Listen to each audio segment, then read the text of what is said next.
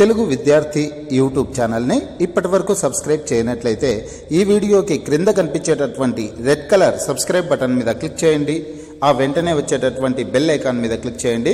మీరు మా ఛానల్ని సబ్స్క్రైబ్ చేసినట్లయితే విద్యా ఉద్యోగాలకు సంబంధించి మేము పెట్టే ప్రతి లేటెస్ట్ వీడియో మీ మొబైల్కి నోటిఫికేషన్ ద్వారా వస్తుంది.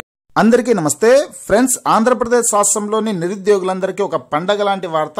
ఆంధ్రప్రదేశ్ రాష్ట్ర ముఖ్యమంత్రి వర్యులు గౌరవ వైఎస్ జగన్మోహన్ రెడ్డి గారు నిరుద్యోగులందరికీ ఒక మంచి శుభవార్త అని చెప్పారు.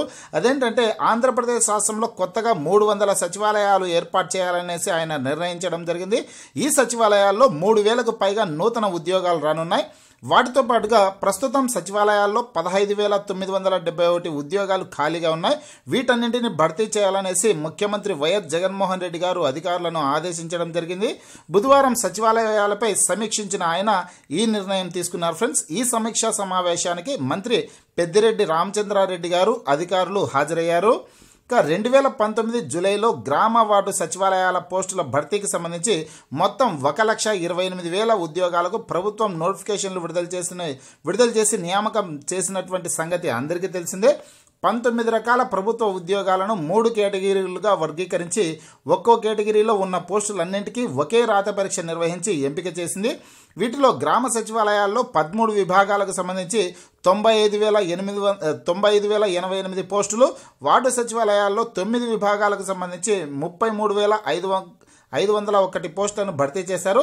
జిల్లా ఎంపిక కమిటీల ద్వారా గ్రామ సచివాలయ పోస్టులను భర్తీ చేయడం జరిగింది ఫ్రెండ్స్. ఈ ఉద్యోగాలకు ఎంపికైన తర్వాత కొంతమందికి వేరే ఉద్యోగాలు రావడంతో సచివాలయ ఉద్యోగాలకు రాజీనామా చేసి వెళ్ళిపోయారు. అలా దాదాపు పదహైదు వేల తొమ్మిది వందల డెబ్బై ఒకటి ఉద్యోగాలు ఖాళీ అయ్యాయి.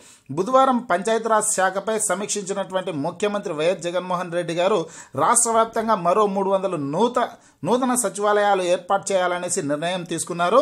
ఈ నూతన సచివాలయాల్లో మూడు వేల మందికి పైగా ఉద్యోగాలు భర్తీ చేయాల్సి ఉంది.